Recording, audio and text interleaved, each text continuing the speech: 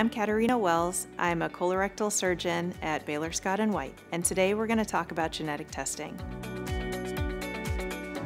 Genetic testing is a special type of testing that's offered to people who have a personal history or strong family history of colon cancer.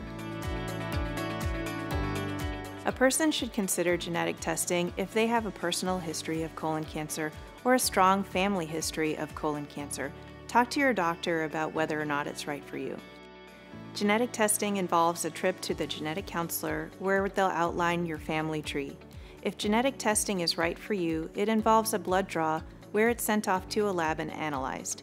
When the results are reported, you'll have another visit with the genetic counselor to talk about what the test results mean.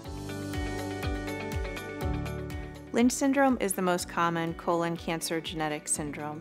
It's associated with uterus, kidney, and other types of cancers. If you think you could be at risk for Lynch syndrome, talk to your doctor about how you can learn more.